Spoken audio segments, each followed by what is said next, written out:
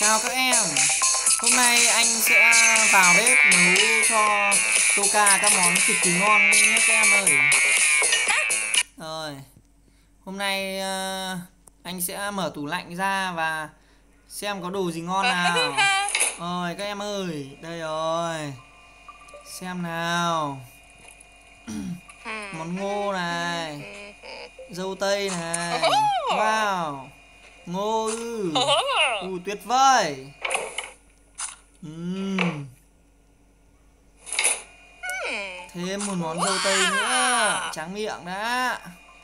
Rồi.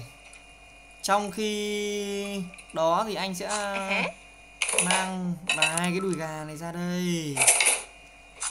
Wow. Tuyệt vời. Thêm một chiếc đùi gà nữa đi bốn cái đùi gà đủ ăn không em ơi thêm một cái đùi gà nữa tuyệt vời năm cái đùi gà luôn uhm. rồi trong cái lúc chờ đợi anh cho đùi gà vào đây cho mấy cái đùi gà vào rửa hết đi rồi xèo xèo xèo xèo xèo sửa luôn rửa đùi gà các em ơi rồi. Đã rửa xong rồi nhé các em ơi. Bây giờ anh sẽ Cho ra chảo rồi Ồ oh. Có hai cái đùi gà chín rồi này. Xem nào Ngon chưa? Uhm. Đùi gà ngon chưa này Tiếp tục uhm.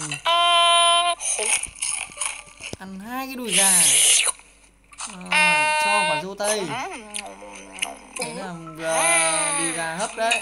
Bây giờ anh sẽ cho đùi gà rang này. Tiếp tục. Cho hai cái đùi gà luôn. Anh cho một ít gia vị vào ít tương ớt này.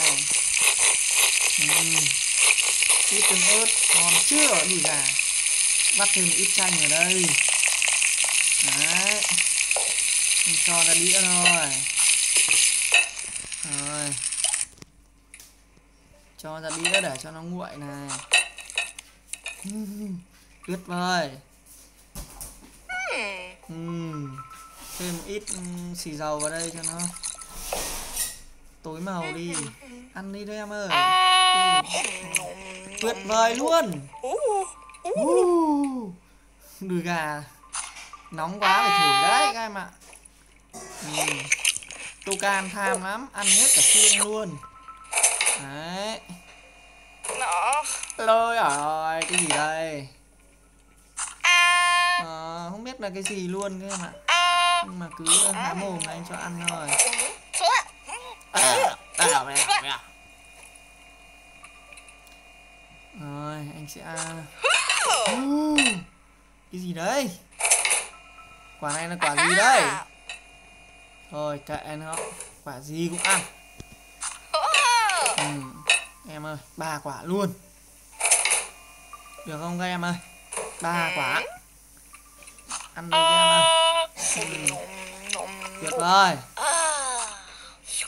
Ừ, Buồn ngủ rồi. Ăn nốt đi em ơi. Được chưa? Rồi anh sẽ cho Toka ăn như vậy thôi nhé các em. Rồi, hẹn các em video lần sau.